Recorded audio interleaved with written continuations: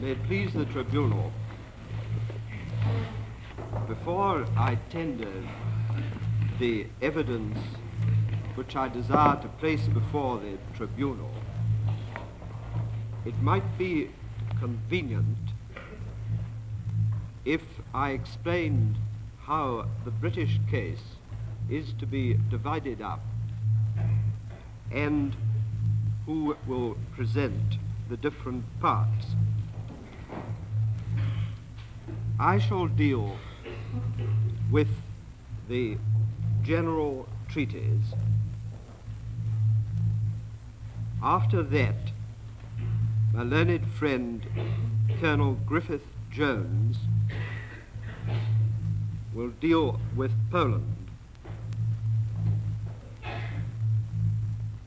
Thirdly, Mr. Elwyn Jones will deal with Norway and Denmark. Fourth, Mr. Roberts will deal with Belgium, Holland, and Luxembourg.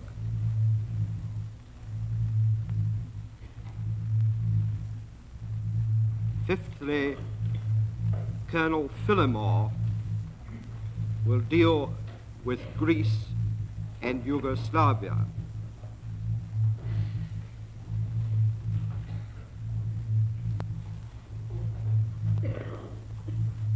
After that, my friend Mr. Alderman of the American delegation will deal on behalf of both delegations with the aggression against the USSR and the USA.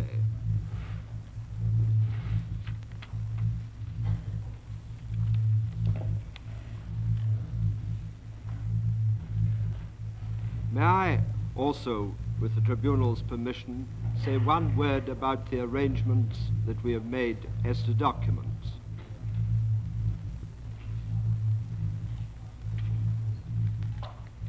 Each of the defendant's counsel will have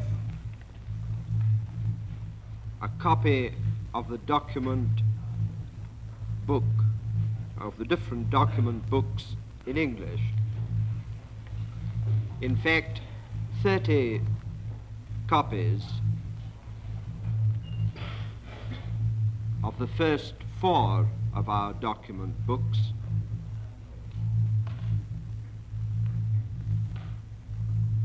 have already been placed in the Defendant's Information Center.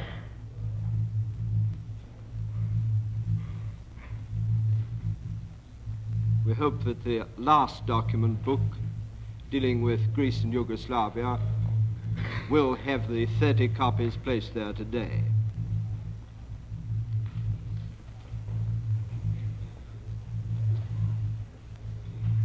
In addition,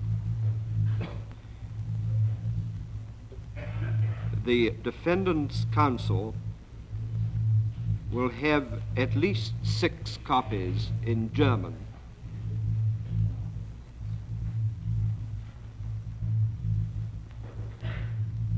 of every document.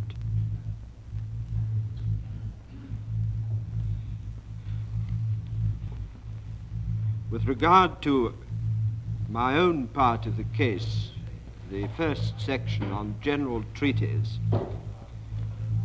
all the documents on this phase are in the Reichsgesetzblatt or the Dokumente der deutschen Politik, of which 10 copies have been made available to the defendant's counsel. So that with regard to the portion with which the tribunal is immediately concerned, the defendant's counsel will have at least 16 copies in German of every document referred to. There is, uh, finally, there is a copy of the Reich, Reich Gesetzblatt and the Dokumente available for the tribunal, other copies if they're so desired, but one is placed ready for the tribunal if any member wishes to refer to a German text.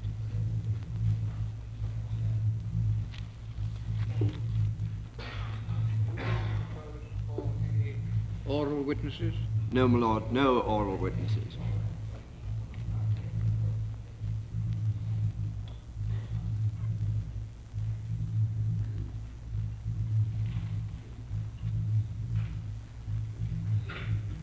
If the tribunal pleases, bef before I come to the first treaty,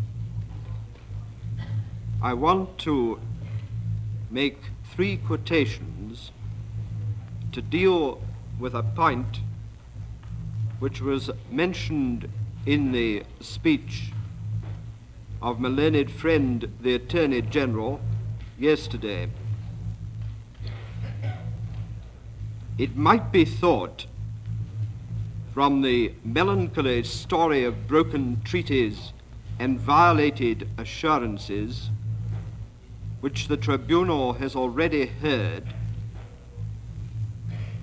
that Hitler and the Nazi government did not even profess that it is necessary or desirable to keep the pledged word. Outwardly, however, the professions were very different. With regard to treaties, on the 18th of October 1933, Hitler said, Whatever we have signed, we will fulfill to the best of our ability. Tribunal will note the reservation, whatever we have signed. But on the 21st of May of 1935, Hitler said, the German government will scrupulously maintain every treaty voluntarily signed, even though it was concluded before their accession to power and office.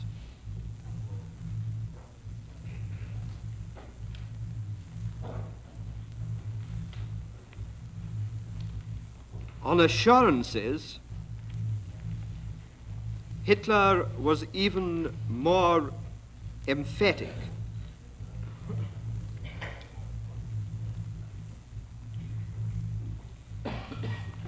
In the same speech, the Reichstag speech on May 21st, 1935, Hitler accepted assurances as being of equal obligation. And the world at that time could not know that that meant of no obligation at all.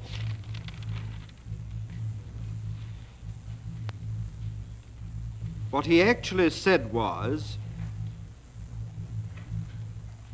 and when I now hear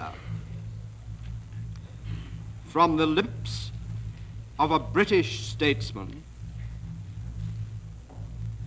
that such assurances are nothing, and that the only proof of sincerity is the signature appended to collective pacts,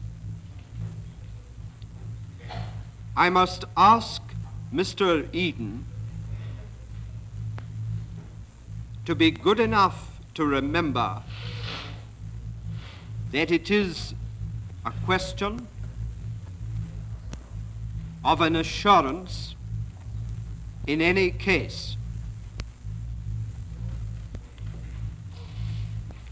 It is sometimes much easier to sign treaties with the mental reservations that one will reconsider one's attitude at the decisive hour than to declare before an entire nation and with full opportunity one's adherence to a policy which serves the cause of peace because it rejects anything which leads to war. And then uh, he proceeds with the illustration of his assurance to France.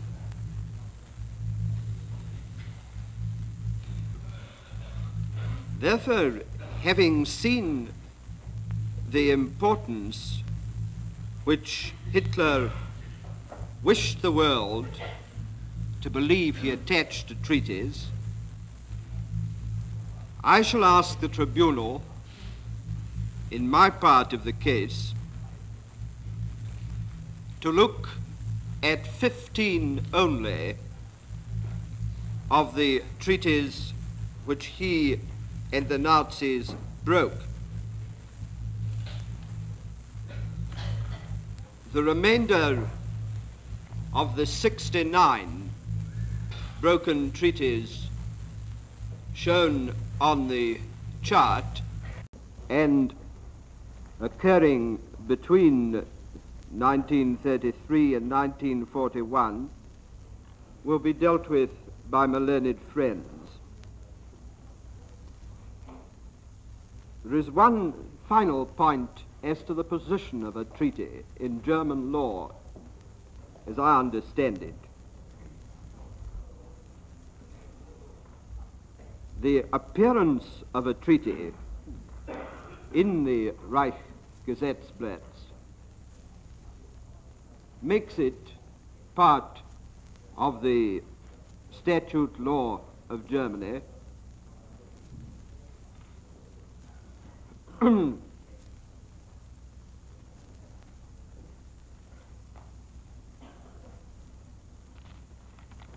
And that is by no means an uninteresting aspect of the breaches which I shall put before the tribunal.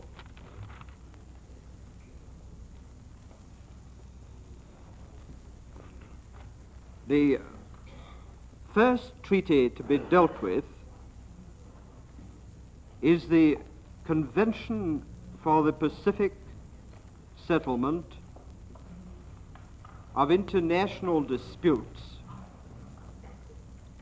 signed at The Hague on the 29th of July, 1899.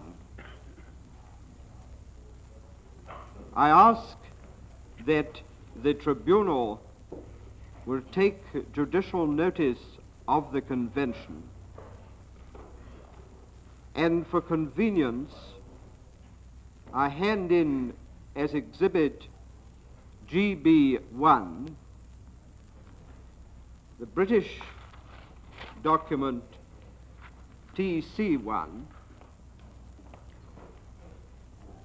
the German reference is to the Reich Gesetzblatt for 1901, number 44, section 401 to 404, and 482 and 483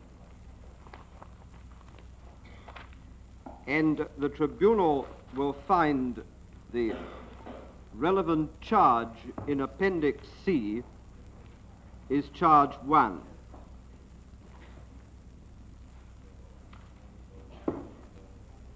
As the Attorney General said yesterday, these Hague Conventions are only the first gropings towards the rejection of the inevitability of war. They do not brand the making of aggressive war as a crime but their milder terms were as readily broken as the more severe agreements.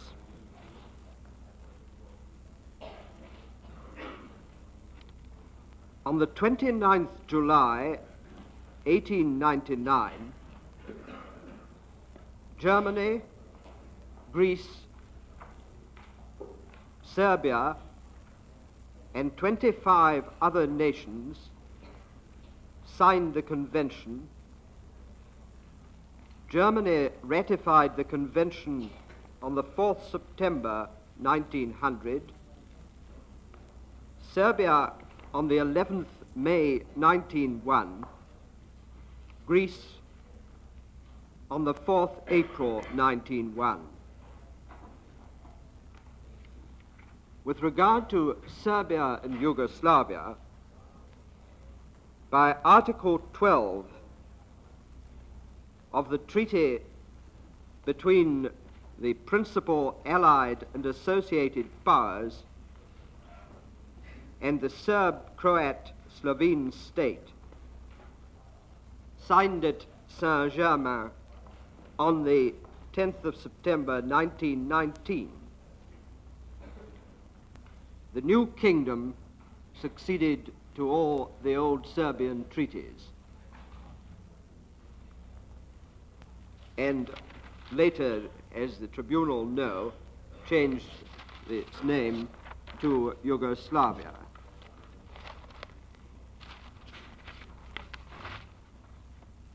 I think it is sufficient, unless the tribunal otherwise wish, for me to read the first two articles only. Article 1, with a view to obviating, as far as possible, recourse to force in the relation between states. The signatory powers agree to use their best efforts to ensure the pacific settlement of international differences. Article 2 In case of serious disagreement or conflict, before an appeal to arms, the signatory powers agree to have recourse as far as circumstances allow, to the good offices or mediation of one or more friendly powers. After that, the convention um, deals with machinery. I don't think, subject to any wish of the tribunal, that it's necessary for me to deal with it in detail.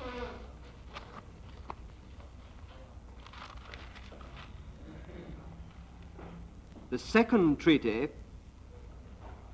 is the Convention for the Pacific Settlement of International Disputes, signed at The Hague on the 18th of October 1907. Again, ask the tribunal to take judicial notice of this, and for convenience, hand in as Exhibit GB2 the final act of the conference at The Hague, which contains British documents TC 2, 3, and 4. The reference to this convention in German is to the Reich Gesetzblatt for 1910, number 5 2, sections 22 to 25. And the relevant charge is charge 2.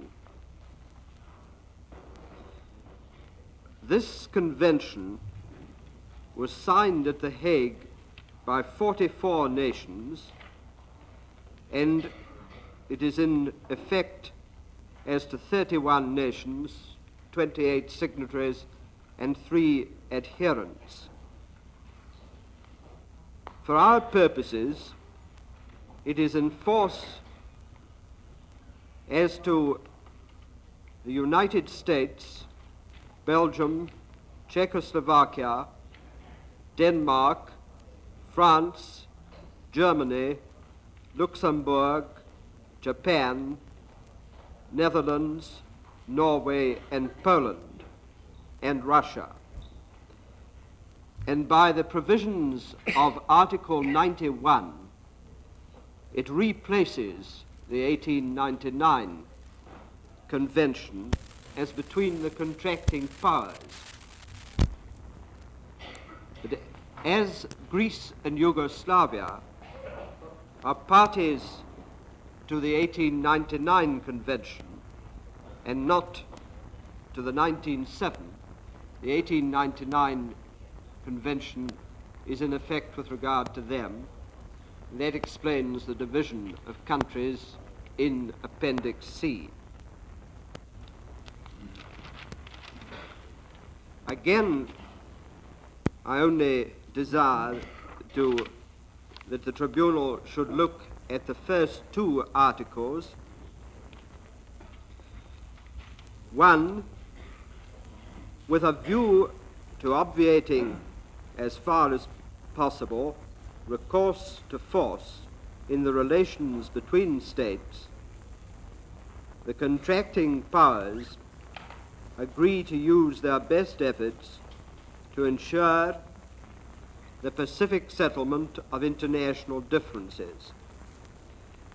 Then I don't think I need trouble to read two. It's the same article as to mediation. And again, there are a number of machinery provisions.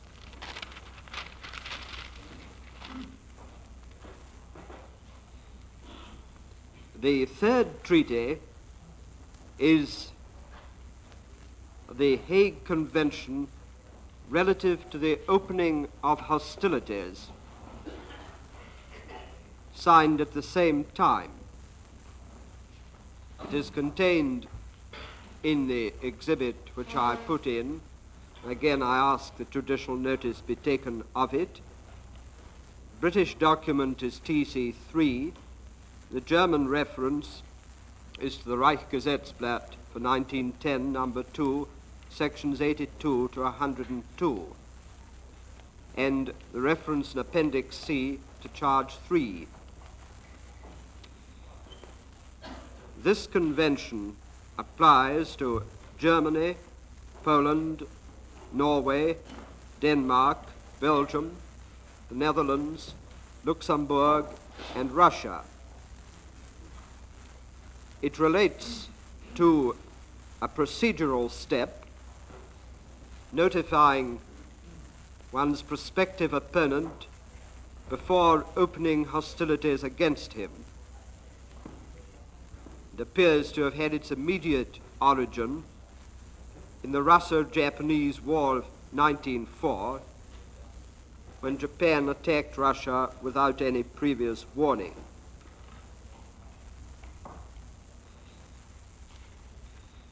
It will be noted that it does not fix any particular lapse of time between the giving of the notice and the commencement of it of hostilities,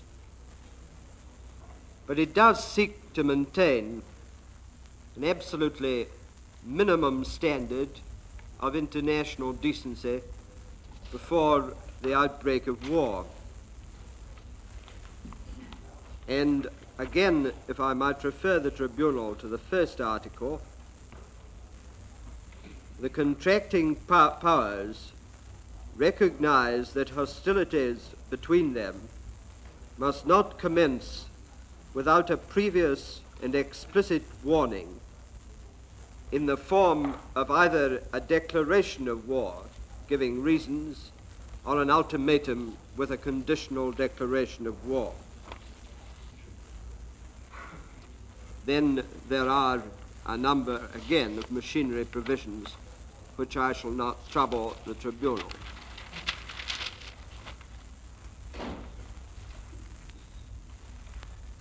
The fourth treaty is the Hague, is Hague Convention 5 respecting the rights and duties of neutral powers and persons in case of war on, land, signed at the same time. That is British document TC4, and the German reference is the Reich Gesetzblatt 1910, number 2, sections 168 and 176. Reference in Appendix C is to Charge 4. Is it necessary to give the German reference for the... No, I, I, not if, uh, I don't want I don't know whether it's necessary for the purposes of Defendant's Counsel, but if not, Yeah, it needn't be done. if, uh, if I, if I may omit them, it will save some time. Yes. And if anyone asks, wants anyone, perhaps, if any of the Defence Counsel want any specific reference, perhaps they'll be good enough to ask me. Yes. The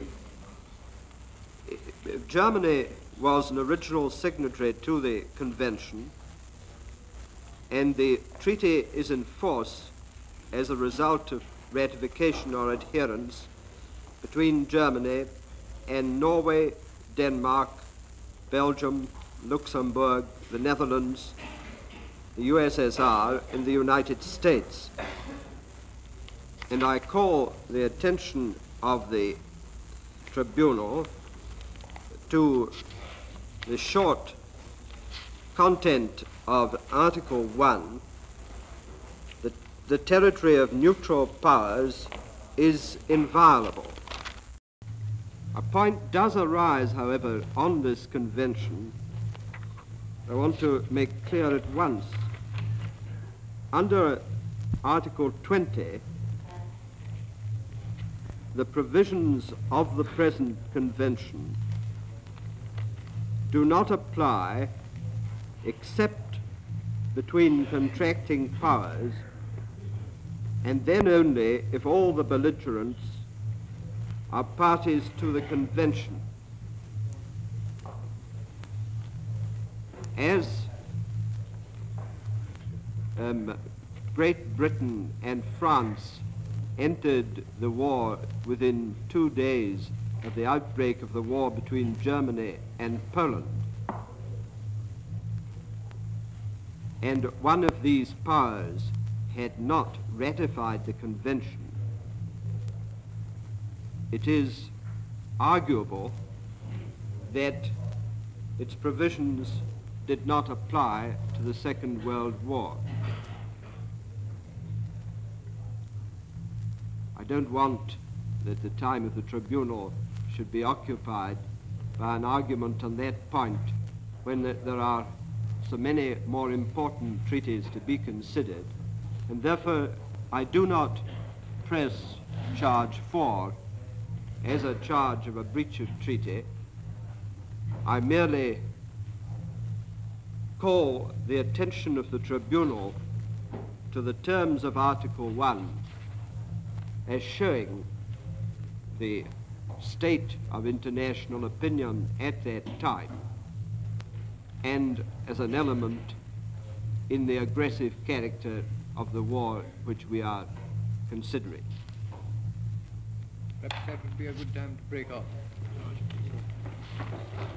As the tribunal adjourned, I had come to the fifth treaty, the Treaty of Peace between the Allied and Associated Powers and Germany, signed at Versailles on the 28th of June 1919. Again ask the tribunal to take judicial cognizance of this treaty and again hand in for convenience Exhibit GB3, which is a copy of the treaty, including the British documents TC5 to TC10 inclusive. And the reference in Appendix C is to Charge 5. Before I deal with the relevant portions, may I explain very briefly the layout of the treaty. Part 1 contains the Covenant of the League of Nations, and Part 2 sets the boundaries of Germany in Europe. These boundaries are described in detail, but Part 2 makes no provision for guaranteeing these boundaries. Part 3, Articles 31 to 117, with which the tribunal is concerned, contains the political clauses for Europe. In it, Germany guarantees certain territorial boundaries in Belgium, Luxembourg, Austria, Czechoslovakia, France, Poland, Memel, Danzig, etc. It might be convenient for the tribunal to note at the moment the interweaving of this treaty with the next, which is the Treaty for the Restoration of Friendly Relations between the United States and Germany. Parts 1, 2, and 3 of the Versailles Treaty are not included in the United States Treaty. Parts 4, 5, 6, 8, 9, 10, 11, 12, 14, and 15 are all repeated verbatim in the United States Treaty from the Treaty of Versailles. The tribunal is concerned with Part 5, which are the military, naval, and air clauses. Parts 7 and 13 are not included in the United States Treaty. I don't think there's any reason to explain what the parts are, but if uh, any, if the tribunal want to know about any sp- specific part, I should be very happy to explain it. The first part th- that the tribunal is concerned with is that contained in the British document TC5, which is, and consists of articles 42 to 44 dealing with the Rhineland.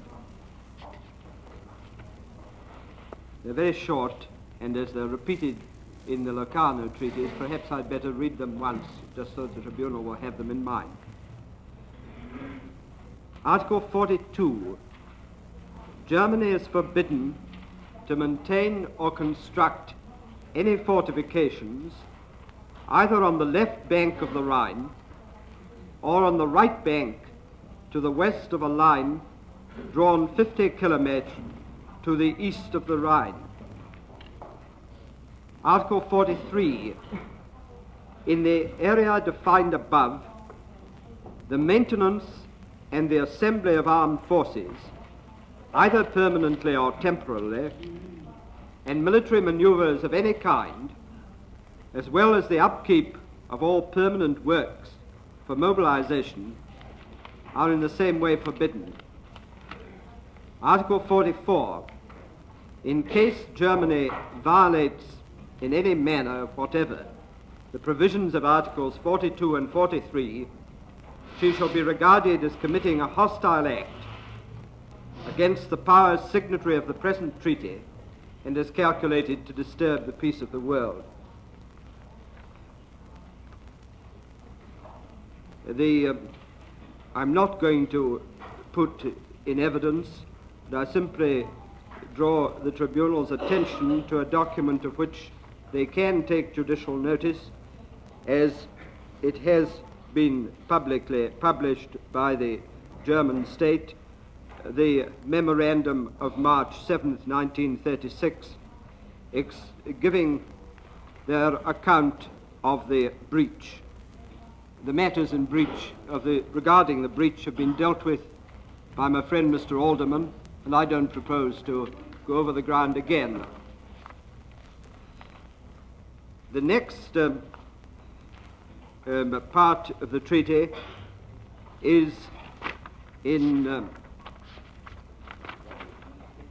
the British document TC6 dealing with Austria, Article 80.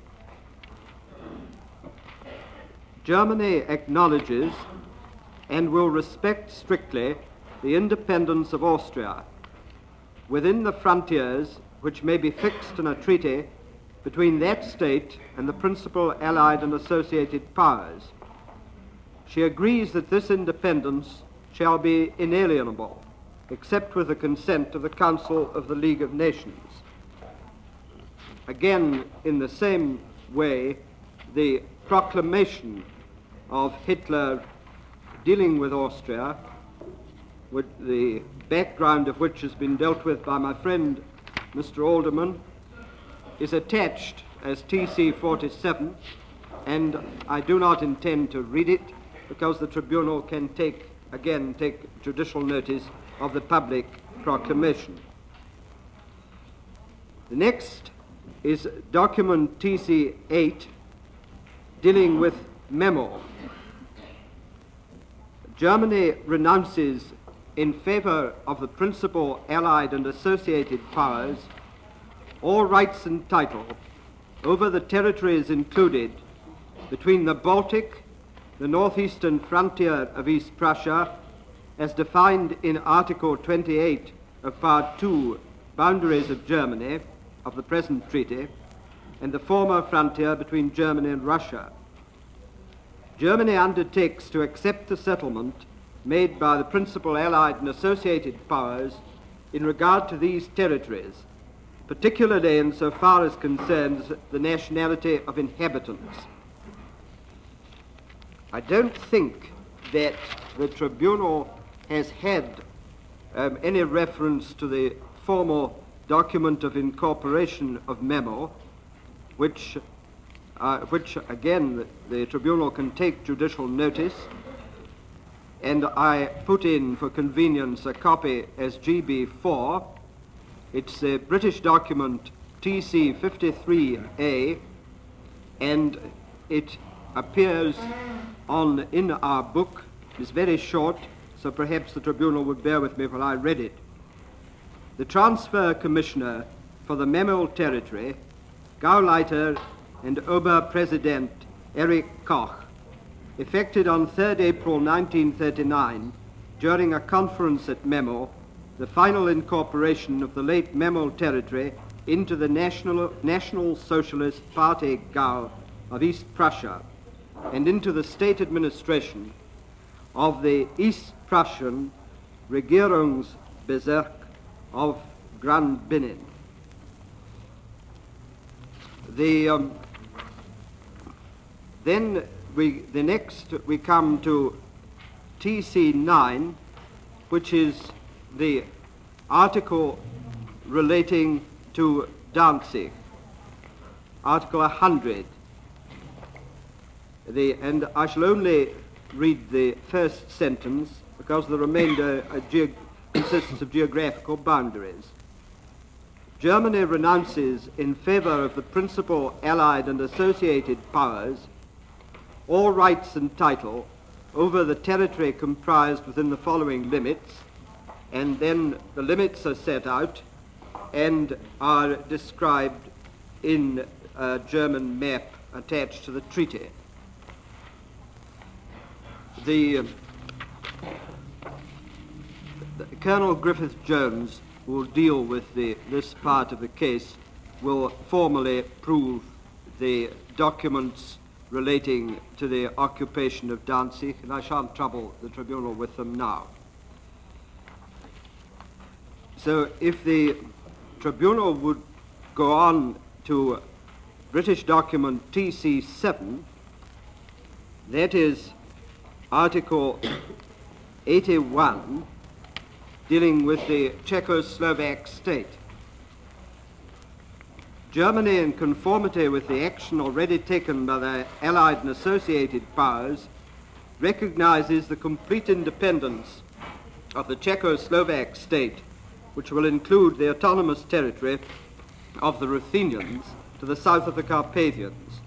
Germany hereby recognizes the frontiers of this state as determined by the principal Allied and associated powers and other interesting state, uh, other interested states the Mr. Alderman has dealt with uh, the, this matter only this morning.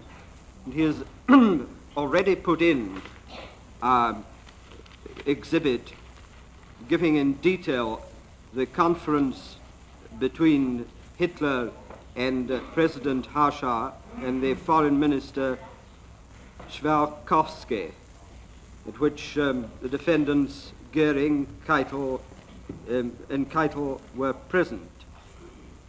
But, and therefore I'm not going to put into the tribunal the British translation of the captured Foreign Office minutes, which occurs in TC 48. But I put in um, formally, as Mr. Alderman asked me to this morning, as GB 6 the document TC 49, which is the agreement signed by Hitler and the defendant Ribbentrop for Germany, and Dr. Hacha and Dr. Chvalkovsky for Czechoslovakia. It is an agreement of which the tribunal will take uh, judicial notice. I'm afraid I can't quite remember if Mr. Alderman read it I'm, this morning. It's the document TC 49. He certainly referred to it. He didn't read the No, he didn't read it. He didn't read it. Then perhaps um, I might read it.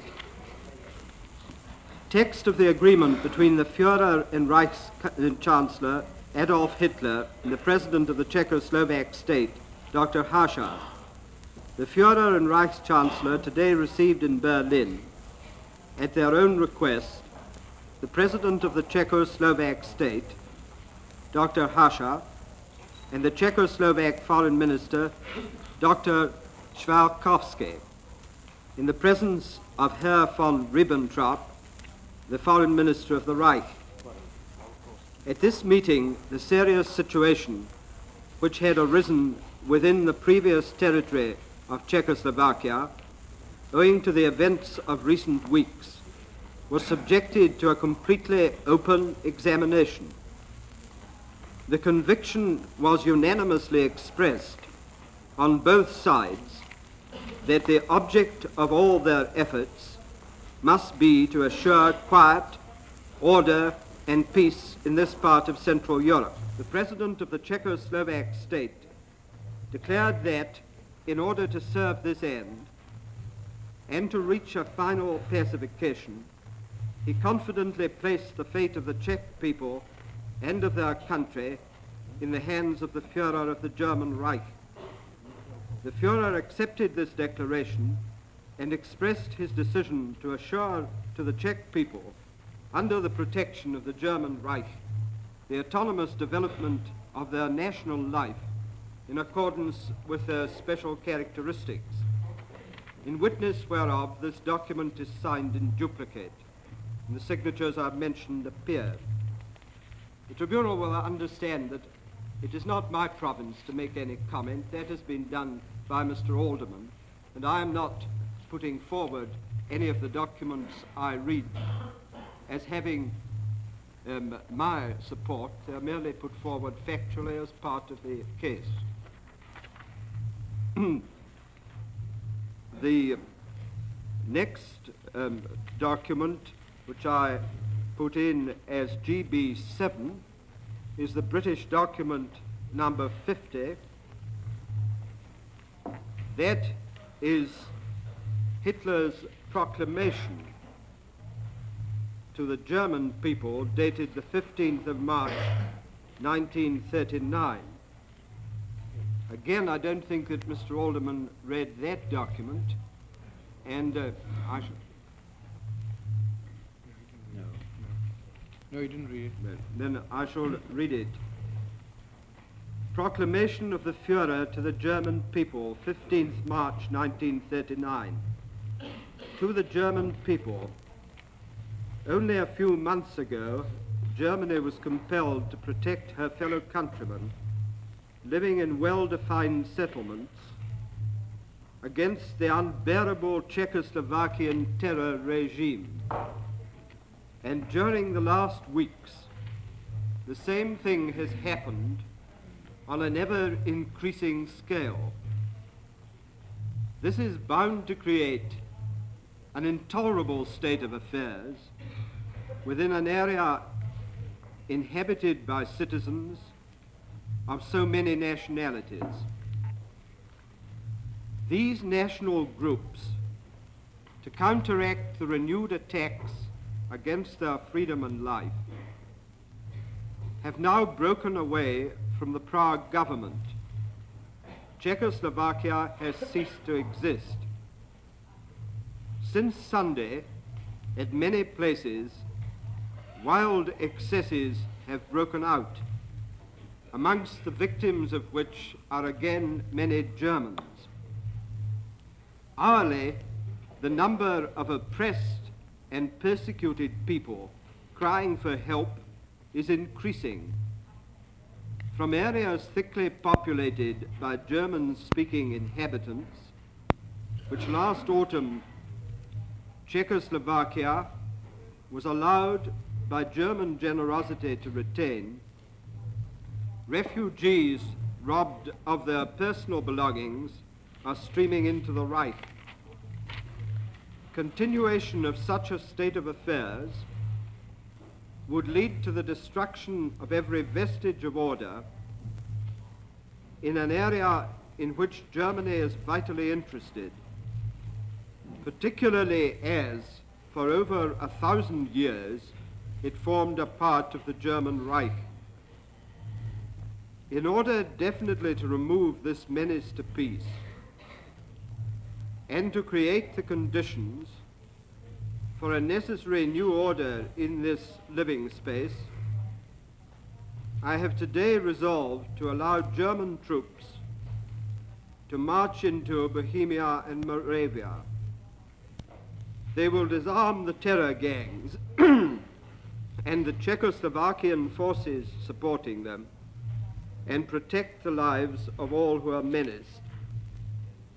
Thus, they will lay the foundations for introducing a fundamental reordering of affairs which will be in accordance with the thousand-year-old history and will satisfy the practical needs of the German and Czech peoples. Signed Adolf Hitler, Berlin, 15th March 1939.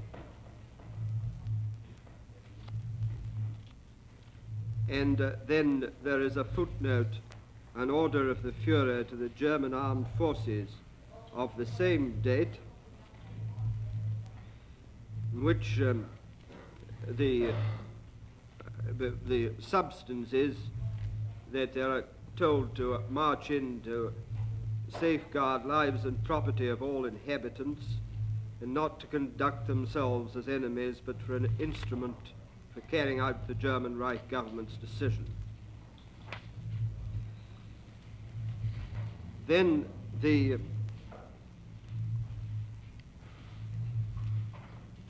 I put in as GB8 the decrees establishing the Protectorate, TC 51.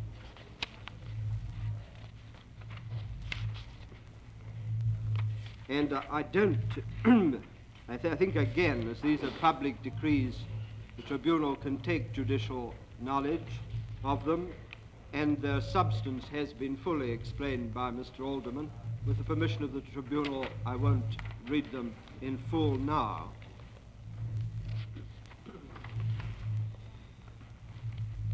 And uh, then, again, as Mr. Alderman requested, I put in as GB9, British document TC 52, the British protest, and if I might just read that to the tribunal,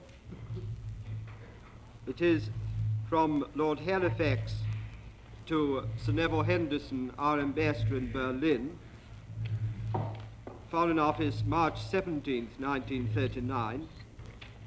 Please inform German government that His Majesty's government desire to make it plain to them that they cannot but regard the events of the past few days as a complete repudiation of the Munich Agreement and a denial of the spirit in which the negotiators of that agreement bound themselves to cooperate for a peaceful settlement.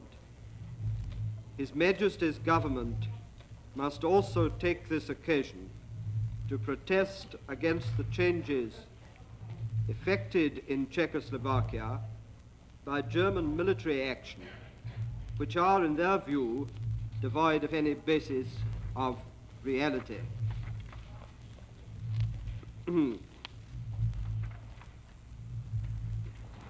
and again, uh, at Mr. Alderman's request, I put in SGB 10, the document TC 53, which is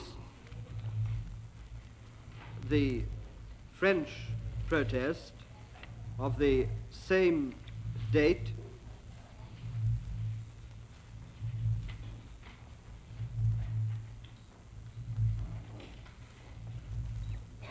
Um, and if I might read the third paragraph, the French ambassador has the honor to inform the Minister for Foreign Affairs of the Reich of the formal protest made by the government of the French Republic against the measures which the communication of Count de Welczeck records. The government of the Republic consider in fact that in face of the action directed by the German government against Czechoslovakia, they are confronted with a flagrant violation of the letter and the spirit of the agreement signed at Munich on September, it should be 29, 1938. The circumstances in which the agreement of March 15th have been imposed on the leaders of the Czechoslovak Republic do not, in the eyes of the government of the Republic, legalize the situation registered in that agreement. The French ambassador has the honor to inform His Excellency the Minister for Foreign Affairs of the Reich that the government of the Republic cannot recognize under these conditions the legality of the new situation created in Czechoslovakia by the action of the German Reich. I now come to the part five of the Versailles Treaty, and they, the, the relevant matters are contained in the British document TC 10.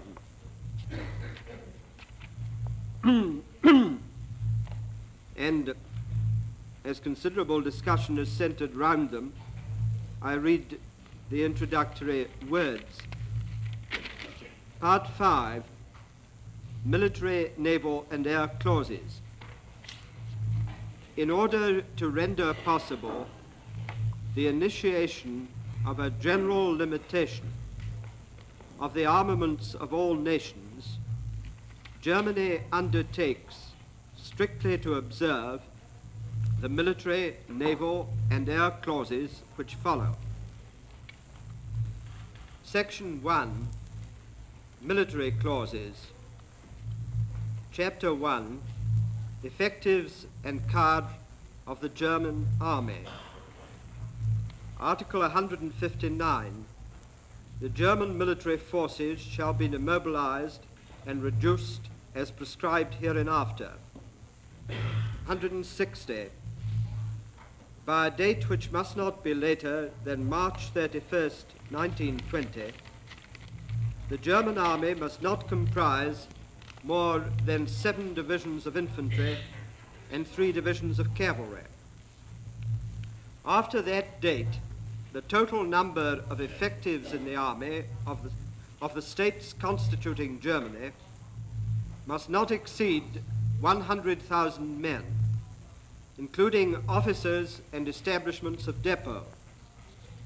The army shall be devoted exclusively to the maintenance of order within the territory and to the control of the frontiers. The total effective strength of officers, including the personnel of staffs, whatever their composition, must not exceed 4,000. To divisions and Army Corps headquarters staffs shall be organized in accordance with table number one annexed to this section. The number and strengths of the units of infantry, artillery, engineers, technical services, and troops laid down in the aforesaid table constitute maxima which must not be exceeded. Then uh, the description of units that um, can have their own depot and uh, the grouping of divisions under corps headquarters. And then the, the next two um, provisions are of some importance. The maintenance or formation of forces differently grouped or of other organizations for the command of troops or for preparation for war is forbidden. The great German General Staff and all similar organizations shall be dissolved and may not be reconstituted in any form. Then I don't think I need trouble the tribunal with um, Article 161, which um, deals with administrative services. 163 um, provides the steps by which the reduction will take place. And then we come to chapter 2 dealing with armament, and that fixes up till the time at which Germany is admitted as a member of the League of Nations, the armaments shall not be greater than the amount fixed in table number 11.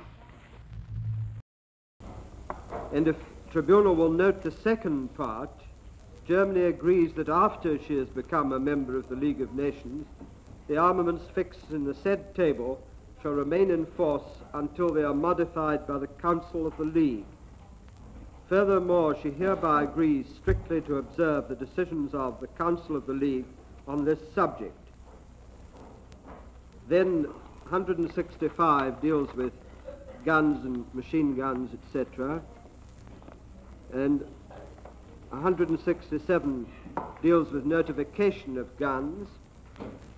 Then 168, the first part, says that the manufacture of arms, munitions, or any war material shall only be carried out in factories or works, the location of which shall be communicated to and approved by the governments of the principal allied and associated powers, and the number of which they retain the right to restrict. And the 169 deals with the surrender of material. 170 prohibits importation. 100, 171 prohibits gas. And 172 provides for disclosure. Then 173, under the heading Recruiting and Military Training, deals with one matter, the breach of which is of great importance. Universal compulsory military service shall be abolished in Germany. The German army may only be constituted and recruited by means of voluntary enlistment. Then the succeeding articles deal with the method of enlistment in order to prevent a quick rush through the army of men enlisted for a short time. And I think all that I need do is to draw the attention of the tribunal to the completeness and detail with which all these points are covered in Articles 174 to 179.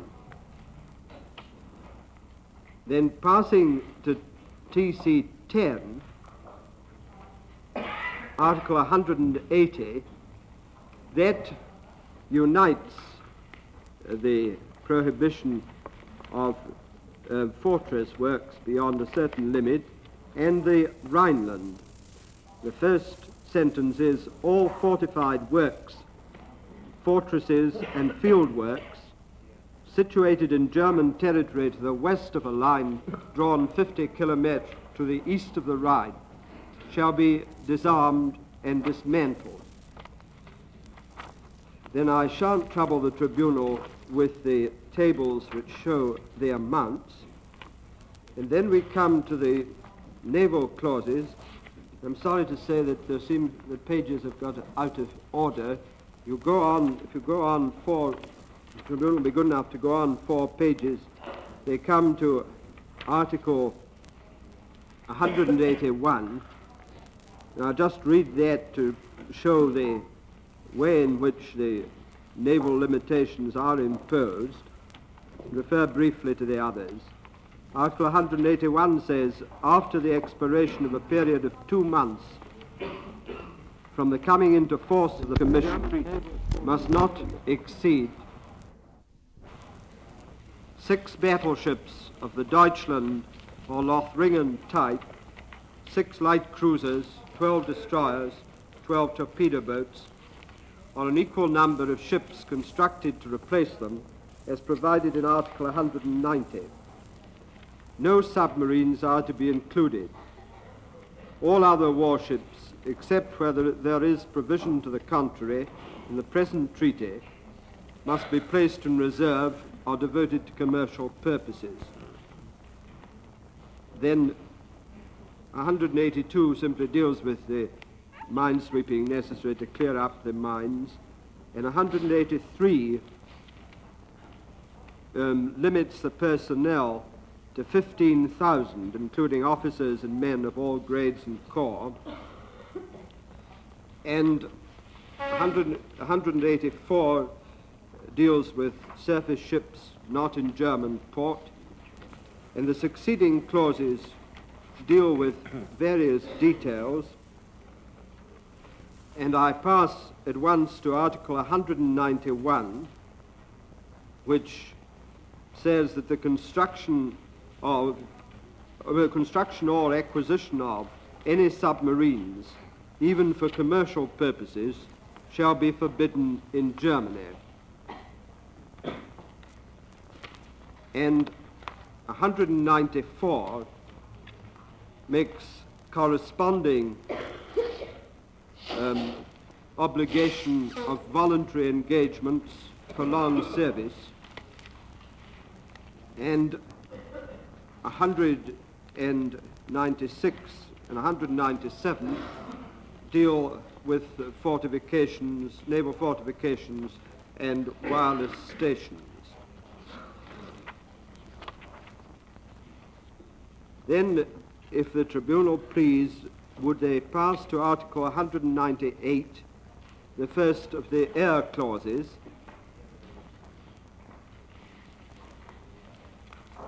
the essential important sentence is the first. The armed forces of Germany must not include any military or naval air forces. I don't think that I need trouble the tribunal with the detailed provisions which occur in the next four clauses, which are all consequential.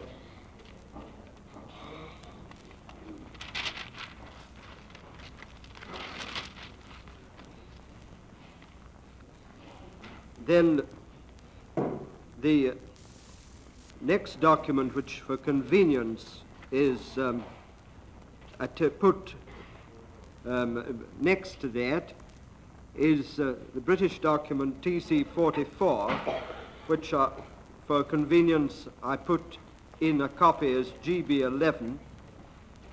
But this again is merely ancillary to Mr. Alderman's argument.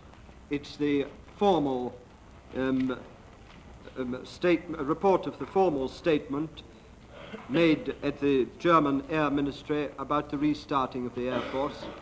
And I think, uh, respectfully submit, the tribunal can take judicial notice of that.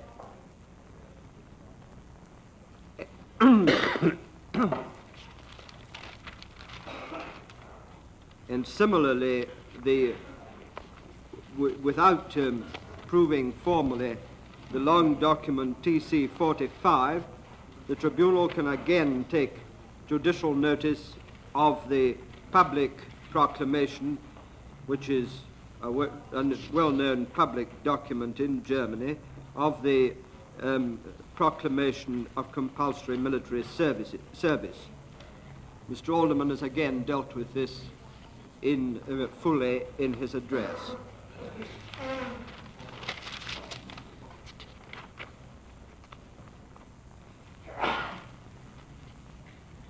I now come to the sixth tre- treaty, which is the treaty between the United States and Germany restoring friendly relations. And that is, I put in a copy as Exhibit GB 12. It is document TC 11, and the tribunal will find it as the second last document in the document book.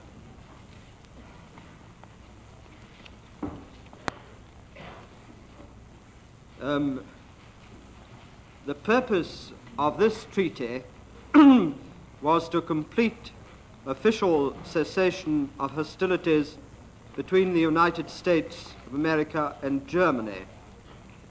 And I've already explained to the tribunal that it incorporated certain parts of the Treaty of Versailles.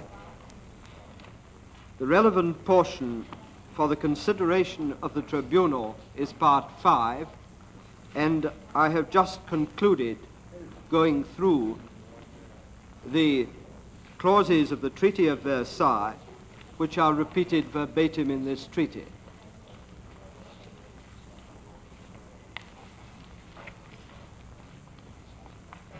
I therefore, with the approval of the tribunal, will not read them again, but uh, if the, it's uh, at page, at page nine, no, uh, page 11, you will see that the, of my copy, the clauses, the clauses are repeated in exactly the same way. Mr. Turner, we don't have a copy in our book. I wonder if we can. We have one with Austria. We don't have one with Germany. Well, it's at the, it ought to be, I'm, I'm so sorry, it ought to be the second last document in the book. No. Oh, well, may I pass you, you pass mine? I'm so sorry. I'll see. Does, uh, does that apply, Your Honor, to the learned American Associate Judge? If so, I'll get another copy. So, I'm so sorry.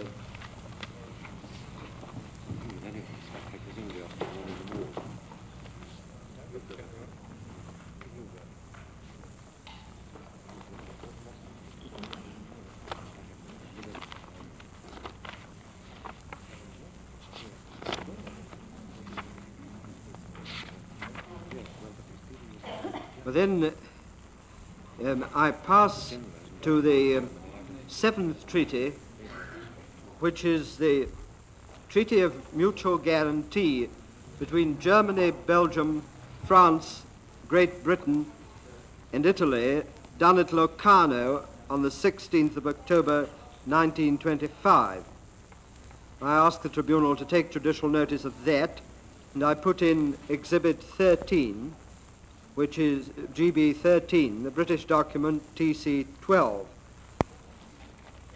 It might be convenient if I Mr. Attorney, at some later stage, you will have the, all the members of the tribunal furnished with a copy of this treaty between the United States and Germany. Well, if your lordship pleases, I'm sorry, I thought it was only two that we were deficient No, in. I think the Soviet member and his Ah, I- alternate have got uh, the Austrian one, and uh, my alternate, Mr. Justice Birkett's got uh, the Austrian one. I think I am the only one who's got the German one. I'm very sorry I'm, that um, I'll see that. Um, Not quite sure about the French member.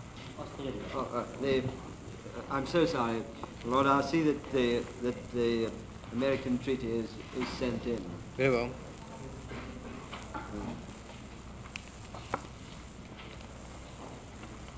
As, as far as, uh, of course, it, it will be done at once, but as far as reference is concerned, the tribunal will appreciate that the clauses are word for word the Versailles clauses, so if they wish to refer to it in the meantime, they will find them under the clauses of Versailles. But I, that, that won't make any difference, of course, my Lord, to my Yes. procuring a copy of the treaty. Now, the, um, the, the, I, I was dealing with the Treaty of Locarno, and uh, it might be convenient if I just reminded the tribunal of the treaties that were negotiated as Locarno, because they do all go together and are to a certain extent um, mutually dependent.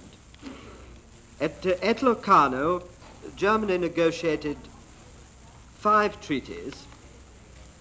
A, the Treaty of Mutual Guarantee between Germany, Belgium, France, Great Britain, and Italy. B, the Arbitration Convention between Germany and France. C, the Arbitration Convention between Germany and Belgium.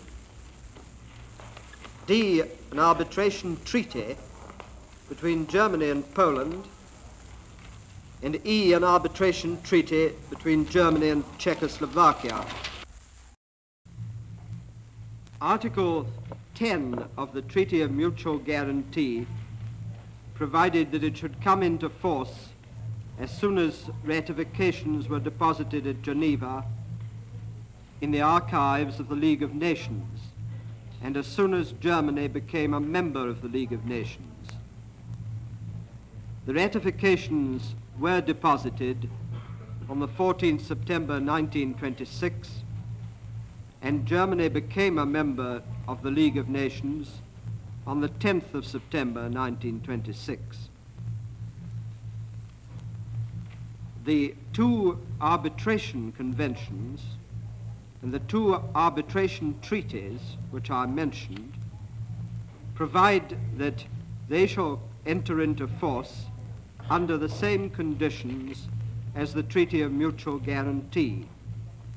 That's Article 21 of the Arbitration Conventions and Article 22 of the Arbitration Treaties. The most important of the five agreements is the Treaty of Mutual Guarantee. One of its purposes was to establish in perpetuity the borders between Germany and Belgium and Germany and France. It contains no provision for denunciation or withdrawal therefrom and provides that it shall remain in force until the Council of the League of Nations decides that the League of Nations ensures sufficient protection to the parties to the treaty, an event which never happened, in which case the Treaty of Mutual Guarantee shall expire one year later. In the, the general scheme of the Treaty of Mutual Guarantee is that Article 1 provides that the parties guarantee three things the border between Germany and France, the border between Germany and Belgium, and the demilitarization of the Rhineland. Article 2 provides that Germany and France and Germany and Belgium agree that they will not attack or invade each other with certain inapplicable exceptions. And Article 3 provides that Germany and France and Germany and Belgium agree to settle all disputes between them by peaceful means.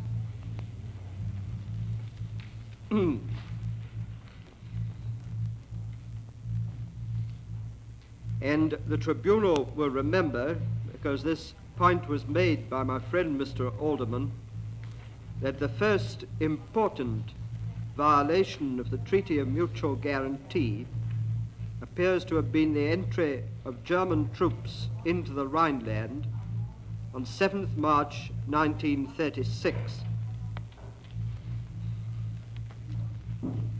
The day after, France and Belgium asked the League of Nations Council to consider the question of the German reoccupation of the Rhineland and the purported repudiation of the treaty. And on the 12th of March, after a protest from the British Secretary for Foreign Affairs, Belgium, France, Great Britain, and Italy recognized unanimously that the reoccupation was a violation of this treaty. And on the 14th of March, the League Council duly and properly decided that it was not permissible and that the Rhineland clauses of the pact were not voidable by Germany because of the alleged violation by France through the Franco-Soviet Mutual Assistance Pact. That is the background to the treaty with the international organizations that were then in force. And if I might suggest them to the tribunal without adding to the summary which I've given, the relevant articles are 1, 2, and 3, which I have mentioned, 4, which provides for action for bringing a violation before the Council of the League, as was done, and the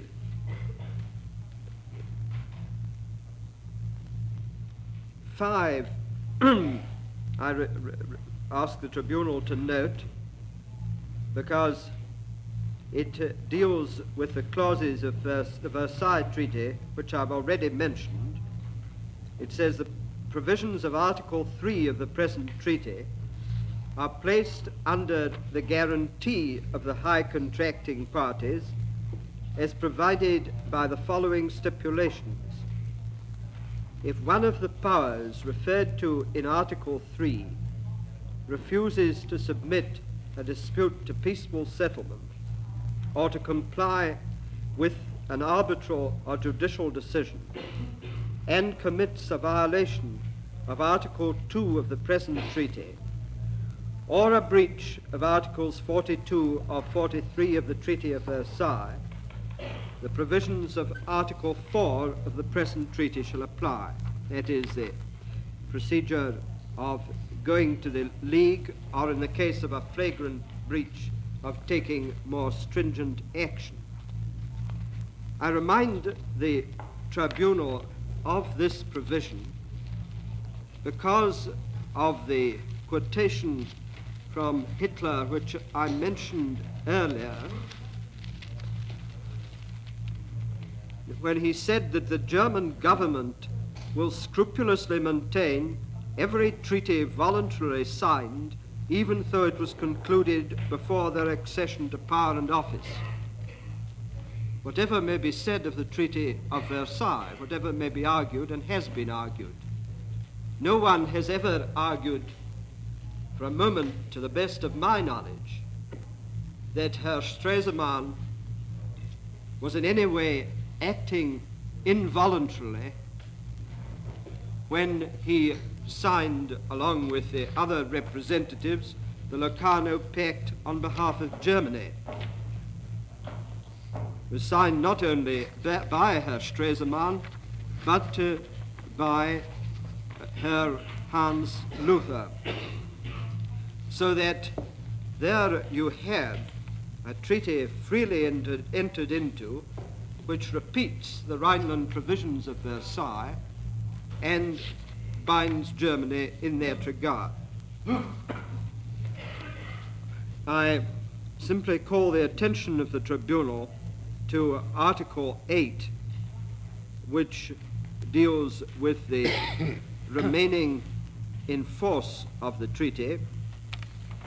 Now, I perhaps might read it because, as I told the tribunal, all the other treaties have the same lasting quality, the same provision as the time they'll last, as uh, the, the Treaty of Mutual Guarantee. It says the present treaty shall be registered at the League of Nations in accordance with the covenant of the League.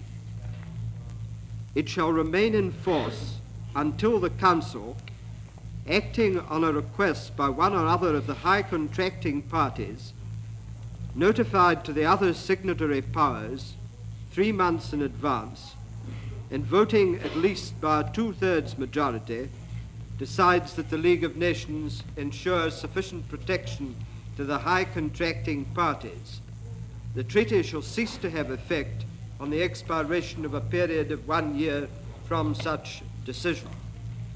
That is, that in signing this treaty, the German representatives clearly placed the question of repudiation or avoidance of the treaty in hands other than their own.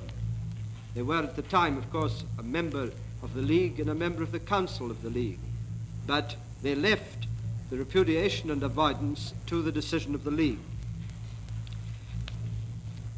Well, then, then the next treaty on my list is the arbitration treaty between Germany and Czechoslovakia, which was one of the Locarno group and which I've already referred. But uh, I, for convenience, I put in Exhibit GB 14, which is British document TC 14, as breach of this treaty is charged in charge 8 of Appendix C.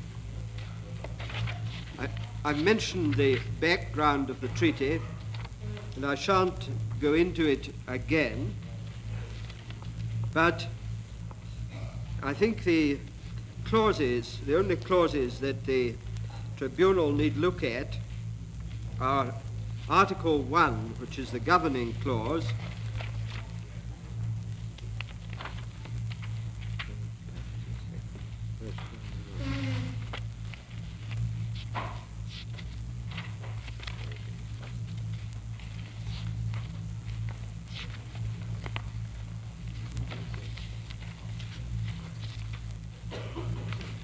um, it says all disputes, to document TC 14, all disputes of every kind between Germany and Czechoslovakia with regard to which the parties are Does in conflict. TC uh, 14 follow TC 12 immediately in the book? No, I'm sorry, it's, um, it's been, it's rather, it's m- much nearer the end of the book. Uh, After the Kellogg-Briand Pact? yes, it's after that. Uh, Lord, uh,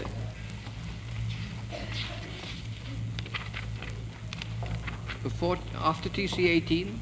Yes, it's, uh, it's immediately, it- it's after TC 18 and, and TC um, 26, which is short, Oh, I've got it now. and T, the next one, it's, uh, it comes after that, it's two after that. Thank you. And uh, if your Lordship will note, I was reading at the foot of the page, uh, Article 1. Yes. All disputes of every kind between Germany and Czechoslovakia, with regard to which the parties are in conflict as to their respective rights, and which it may not be possible to settle amicably by the normal methods of diplomacy, shall be submitted for decision either to an arbitral tribunal or to the Permanent Court of International Justice, as laid down hereafter. It is agreed that the disputes referred to above include in particular those mentioned in Article 13 of the Covenant of the League of Nations. This provision does not apply to disputes arising out of events prior to the present treaty and belonging to the past. Disputes for the settlement of which a special procedure is laid down in other conventions in force between the high contracting parties shall be settled in conformity with the provisions of these conventions. Articles 2 to 21 are machinery, and Article 22, the second sentence says the it, that's the present treaty, shall enter into and remain in force under the same conditions as the said treaty, the, which is the Treaty of Mutual Guarantee. now, the, that, I think, is all that I need mention about that treaty. I think I'm right that my friend Mr. Alderman referred to it. This was certainly the fact that it was the treaty to which um, President Benes unsuccessfully appealed during the crisis in the autumn of 1938.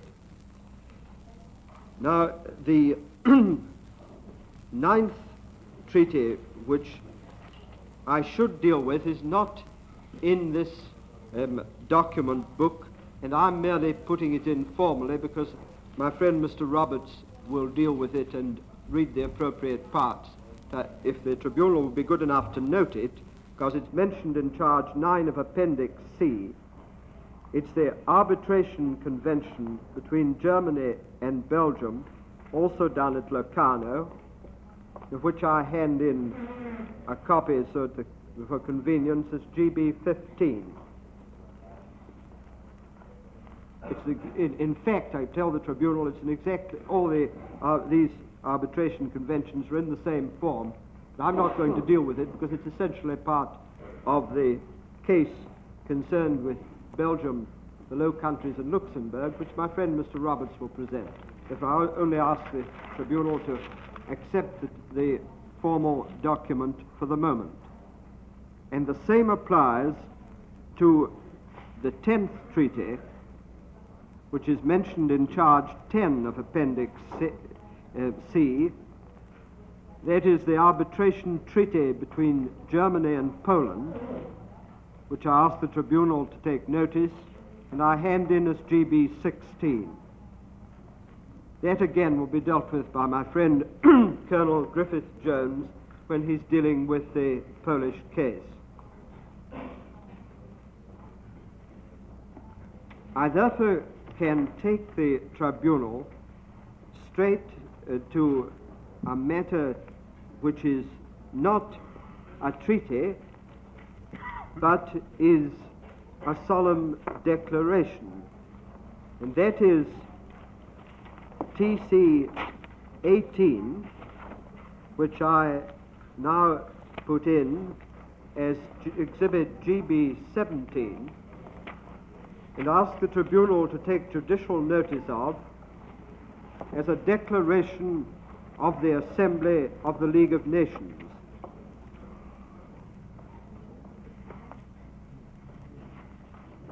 The importance is the date which was the 24th of September 1927, the tribunal may remember that I asked them to take judicial notice of the fact that Germany had become a member of the League of Nations on the 10th of September 1926, a year before.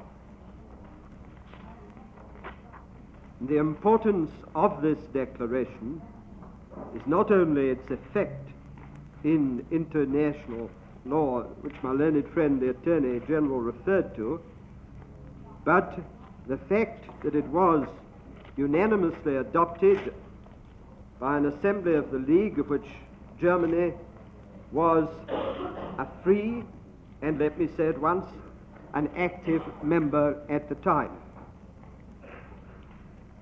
I think that all I need read of TC 18 is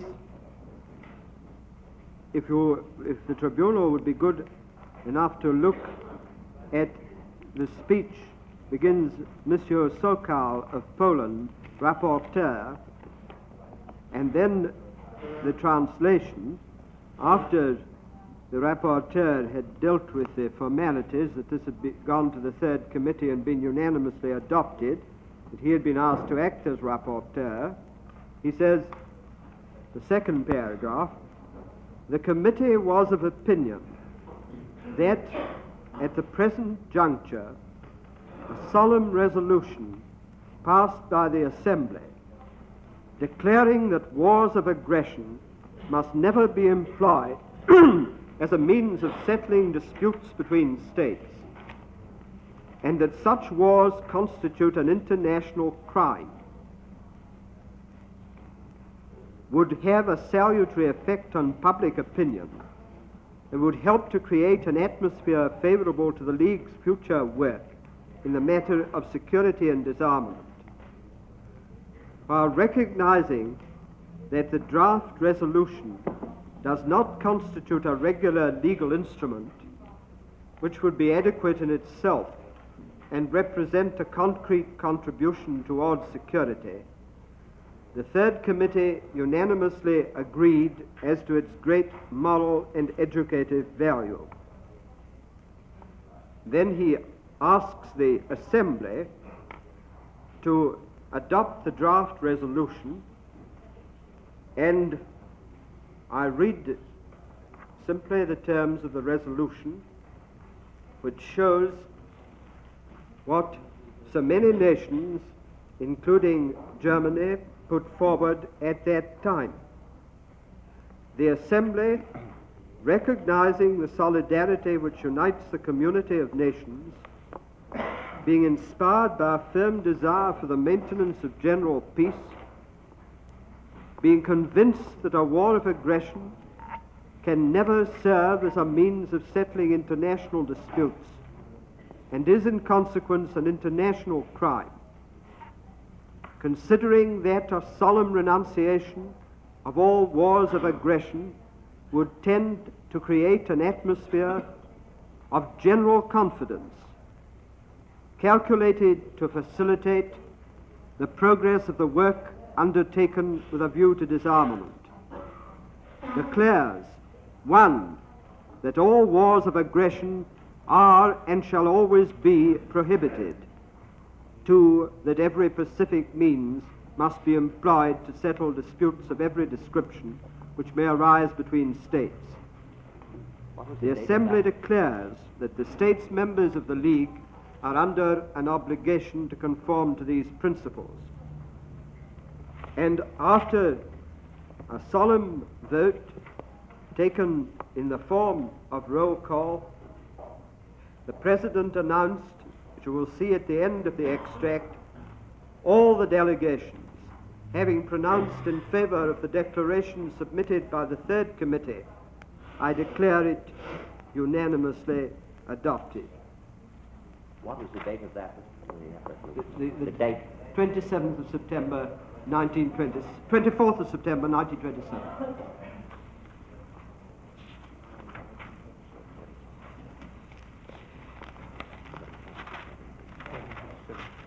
Hmm.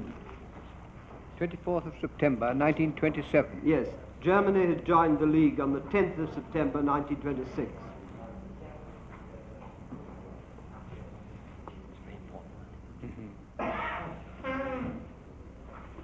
The last general treaty which I have to place before the tribunal is the Kellogg-Briand Pact, the Pact of Paris of 1928, which my learned friend, the Attorney General, in opening this part of the case, read in extenso and commented on fully.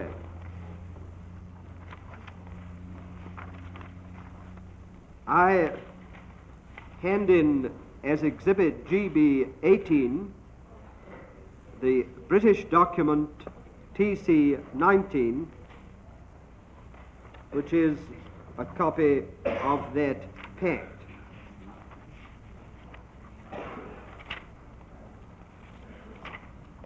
I do, did, did not intend, unless the tribunal desired otherwise, that I should read it again as the Attorney General yesterday read it in full. Of course, I'm at the service of the tribunal. And therefore, I, I leave that document before the tribunal in that way. Now, all that remains for me to do is to place before the tribunal certain documents which Mr. Alderman mentioned in the course of his address and left to me. I'm afraid that I haven't kept them, placed them in, in, in, special order because they don't really relate to the treaties I've dealt with, but to Mr. Alderman's argument. The first of these is um, I hand in as Exhibit GB 19. It's British document TC 26 and comes just after that resolution of the League of Nations which the tribunal have just been giving attention.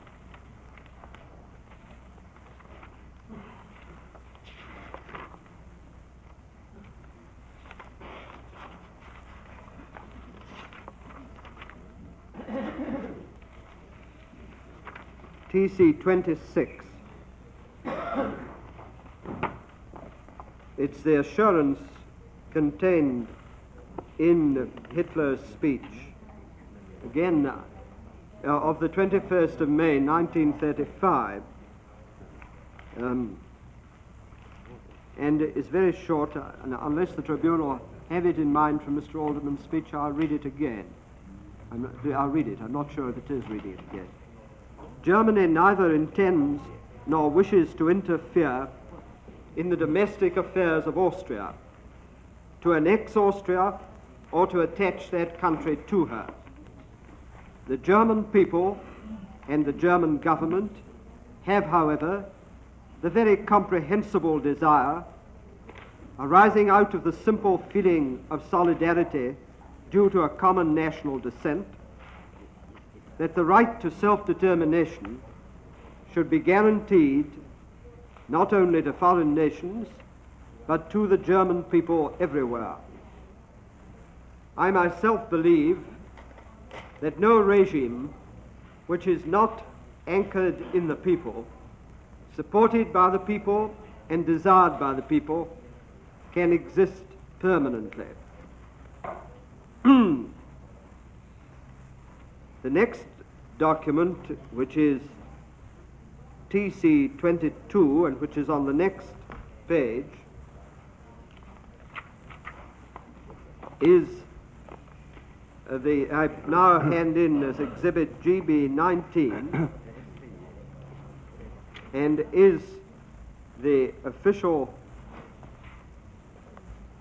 the copy of the official proclamation of the agreement between the German government and the government of the federal state of Austria on July 11, 1936. And I'm almost certain that Mr. Alderman did read this document, but I refer the tribunal to paragraph 1 to remind them of the essential content. The German government recognizes the full sovereignty of the federal state of Austria in the sense of the pronouncements of the German leader and chancellor of the 21st of May 1935. 1935. Hmm.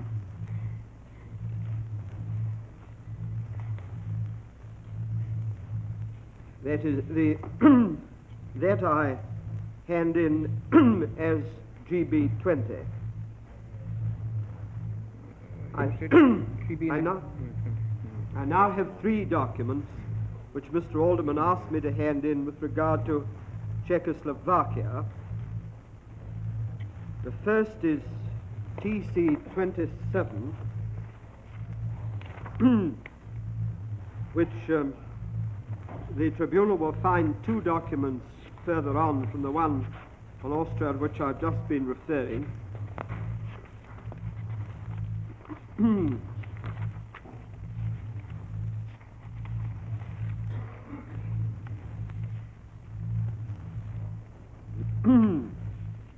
and that is the German assurance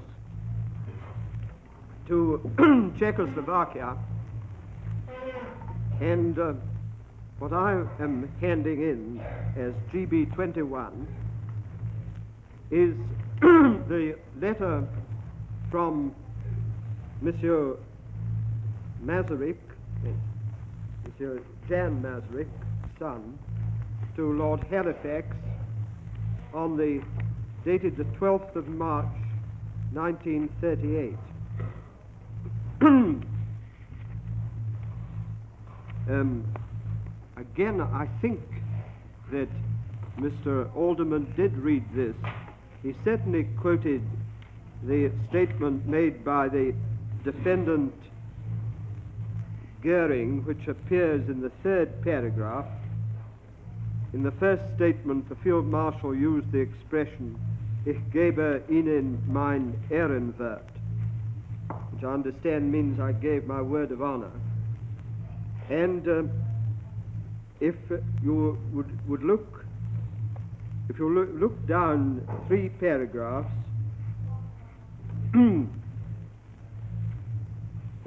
after the defendant Goering had asked that there would not be a mobilization of the Czechoslovak army, the communication continues.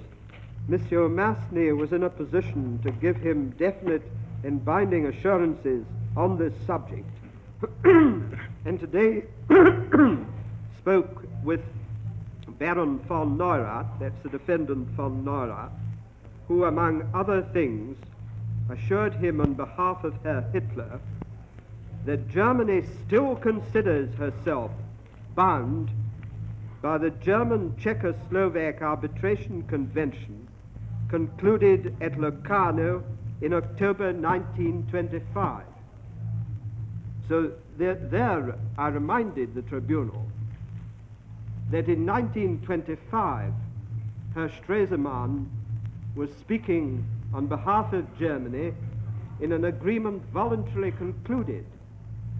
Had there been the slightest doubt of that, here is the defendant von Neurath giving an assurance on behalf of Hitler that Germany still considers herself bound by the German Czechoslovak Arbitration Convention in the 12th of March 1938, six months before Dr. Benes made a hopeless appeal to it before the crisis in the autumn of 1938.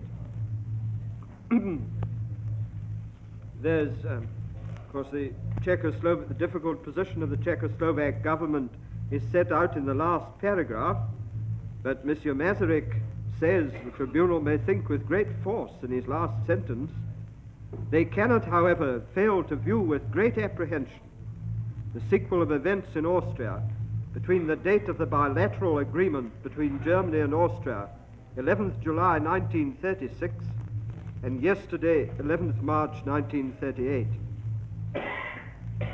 I've re- refrained from comment.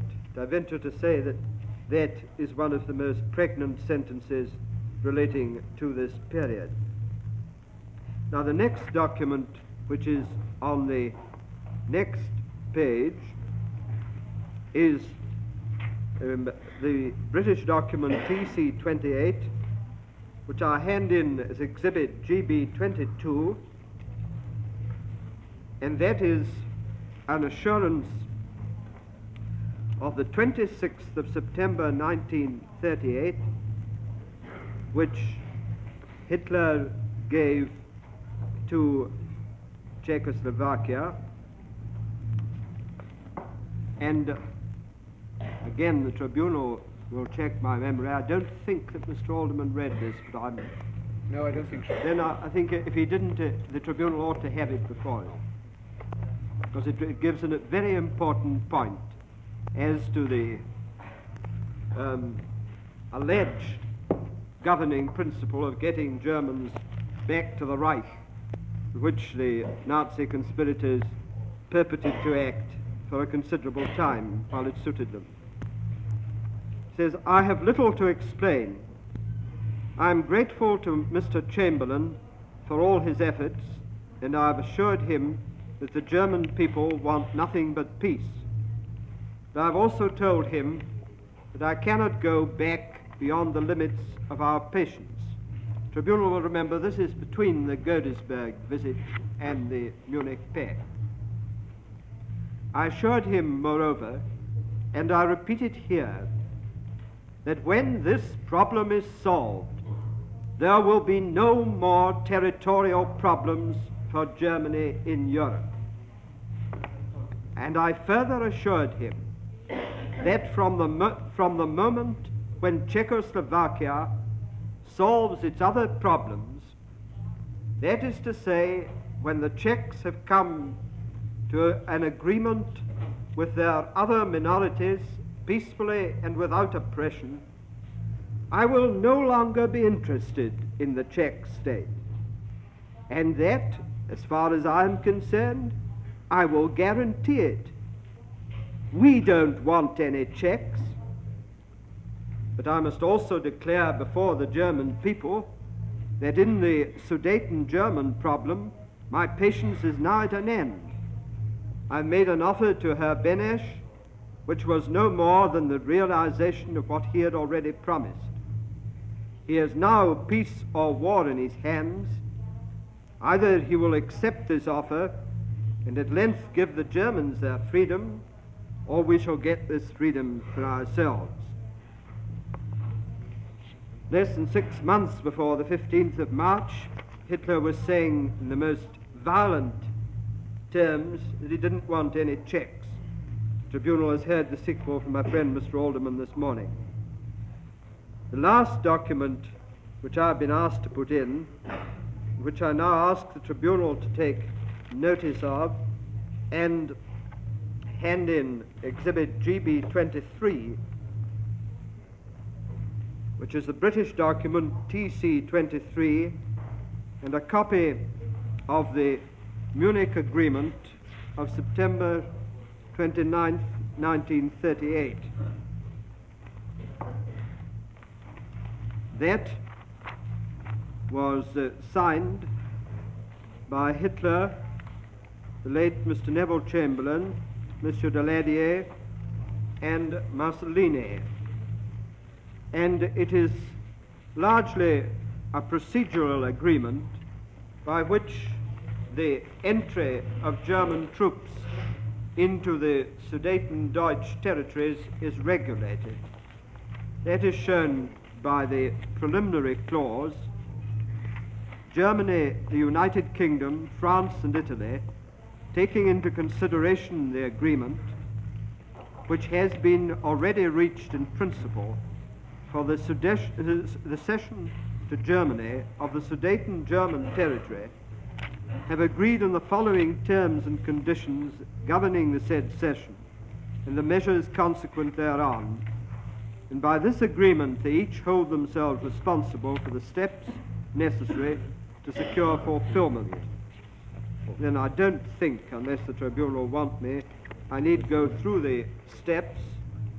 In Article 4, it said that the occupation by stages of the predominantly German territory by German troops will begin on the 1st of October, and the four territories are marked on a map, and by Article 6, the final determination of the frontiers should be carried out by the International Commission.